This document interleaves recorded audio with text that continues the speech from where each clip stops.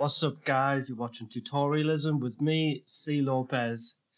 Now, today I'm going to show you my top five tips for Ableton Live 9. Okay, so tip number one freezing tracks. Now, everybody knows about freezing tracks. I know from our group that a lot of people are put off a lot of CPU intensive uh, plugins because they don't want to freeze the track because it feels like it's going to limit them to what they can do. But I'm going to show you that that's not necessarily the case. So I've got this Diva patch here, and it's just a crazy big patch. See from my CPU usage there. It sounds nice, but it's unusable because of how much it's just spiking the CPU. So I'm going to click on it, right click, and go freeze track. All good. Track's frozen. Now, the problem with freezing the track is you can't do anything else to it because the track's frozen. However, if you click on it, Control G to put it into a group. Just gonna rename the group Diva. Now, what you can do is process your group channel. So say I get an EQ on it, uh, take out the low end, uh, what else? A phaser on it.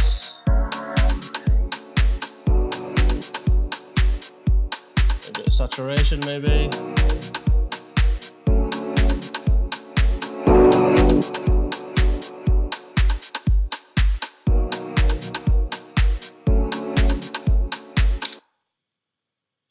Now what you can do, hold down shift, click on everything, group all that. Now you can unfreeze the track, get your rack, stick it on, and then freeze again. You've got everything the way it was, and your CPU is still looking healthy.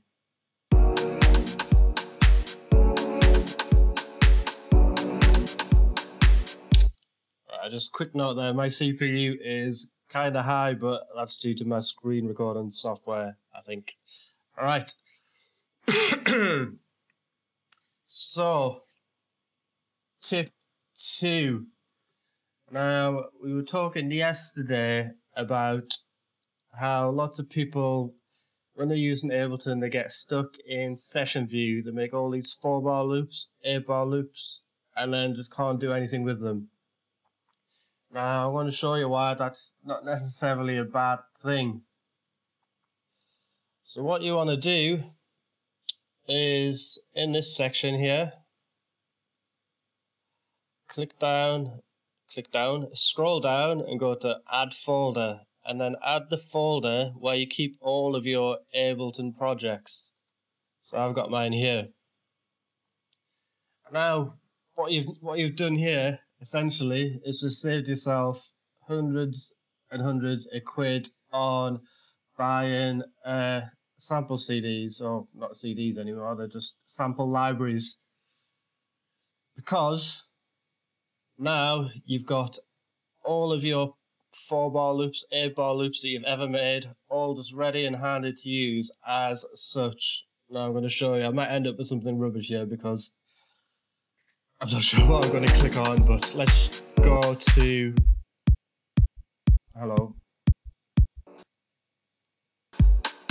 So let's go to oh, Buddhism. What have I got on here?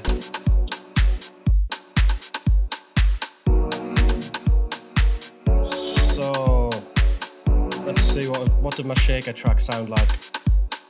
Click to preview.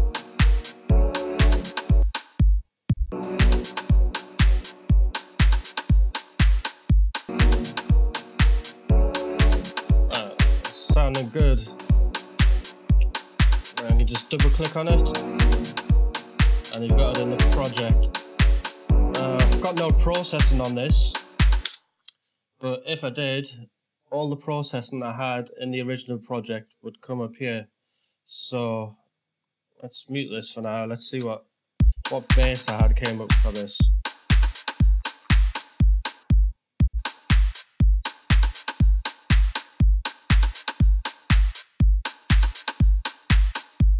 So you can see I had Max for Live on this bass.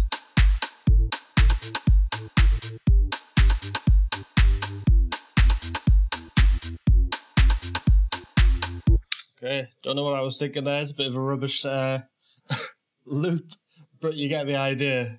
And as you can see, I've got quite a few Ableton projects that I can go through.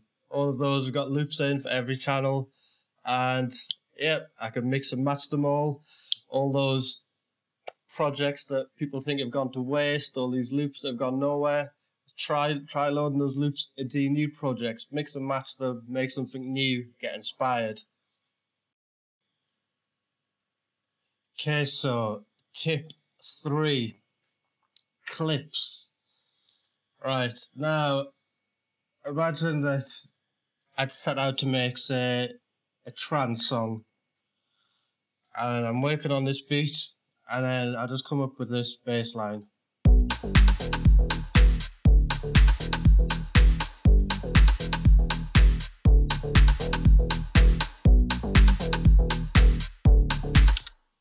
Uh, I like the bass line, it's kind of cool, but today I want to make a trance song, and this bass line is not going to work for the trance song. Now, obviously, I could save the, the project and then it'll be in my Ableton folder as I just showed you before, or I could use uh, save it into my clips folder. So, what you do is go to your user library and click in your clips folder and as you can see uh, you can make new folders I've got one here called baselines. so I could just let's call this I don't know rubber bass. and then I'll just drag it into my clips folder and you can see here rubber bass. now I can just delete this clip get on with making my trance song, and then at a later date, I can think, really need a bass line, really need a rubber bass. Go back to my clips. As you can see, oh. I'll play it in time to your song.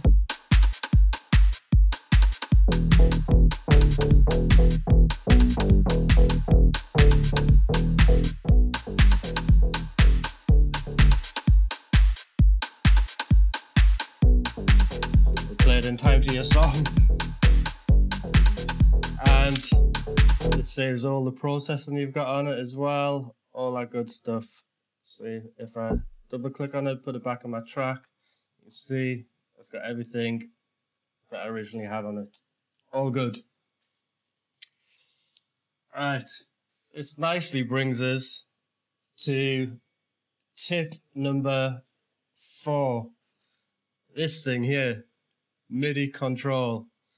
This is a Max for Live MIDI effect, and it's a free. You don't get it already in Ableton. Uh, I've got here MIDI control. It doesn't come uh, pre-installed in Ableton. You have to go on the Max for Live website and download it, but you get it for free. And this thing is a godsend because in ways of controllers here, I have an Akai LPK25 little keyboard. I've got an Akai MPD32 and my favorite MIDI controller, which is not even a MIDI controller, is my trackball. Now, thing with the MPK25 and the uh, MPD32, neither of them have a pitch bend control or mod wheel and that's why this lovely wheel on the trackball is crazy good because with this MIDI controller It's just got a nice control of the mod wheel. And the pitch bend. Let's get back to 64. And I've got no aftertouch on that patch, but if I did. Quick, easy one. Tip number five, last of my quick tips. Right, now I know this is going to be a bit of a controversial one. Um, when you're making loops, always do it in session view. Don't do it in arrange view. Now, I know some people aren't going to like that. I mean, myself, I was a Cubase user. I used Cubase for nearly 20 years, something like that, before I switched over to Ableton. And it took us a while to get my head around using session view.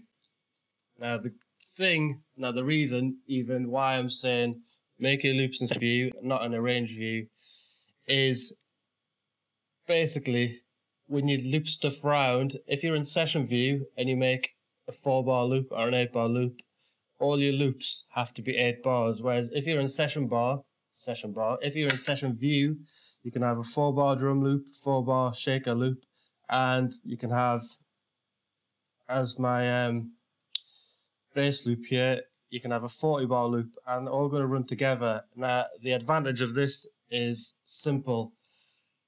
Basically, if you're going to record in a loop, press record, I had it run for 40 bars or whatever, and I just played it the same thing over and over again. I might think that's a bit pointless, but I'm going to show you why that's not pointless. Because I'm not the best keyboard player in the world, and session view makes this an advantage. Because if I play the loop round, deal with the beat,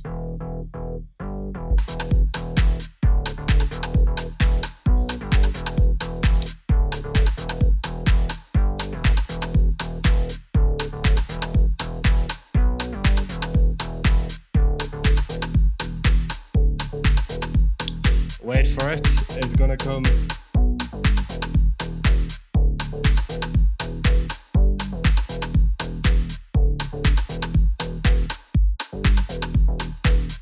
There, did you hear that? I missed the first note on the beat. That was a pure accident, but it sounds kind of good. And that would never have happened if I was just using an 8 bar loop. And same goes as well. Sometimes I'll hit the wrong note, the wrong key. Sometimes there'll be other kind of timing discrepancies.